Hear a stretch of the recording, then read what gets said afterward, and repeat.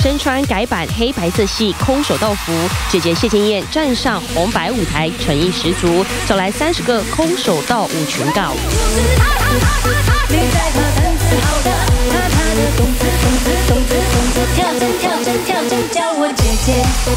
不止如此，迅速换上下一套全身金黑色亮片洋装，酷帅有型，展现独门换装功力。节目超级巨星红白艺人大赏，找来众多明星比拼，但来宾之一王彩华却在舞台上重重摔了一跤。只见他跌落在台上，表情看似被吓到。原本为了节目身穿大红色西装外套，搭配雷鬼编法，却跟康康在舞台合唱时，原本要转到对方怀中，没想到康康漏接，让王彩华当场重摔倒地，加上又穿着高跟马靴，这一摔让他痛得坐地哀嚎，吓坏一旁舞群跟台下观众。